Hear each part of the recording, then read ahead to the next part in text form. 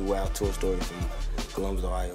We was performing. You know what I'm saying? You know, we having a, that uh, crowd uh, hyped. So we thinking of, it was like 15 boys right.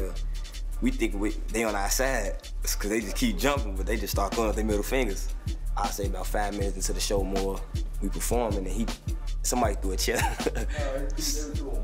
nah, they threw a chair and hit him in his nose and both his abs was black next morning.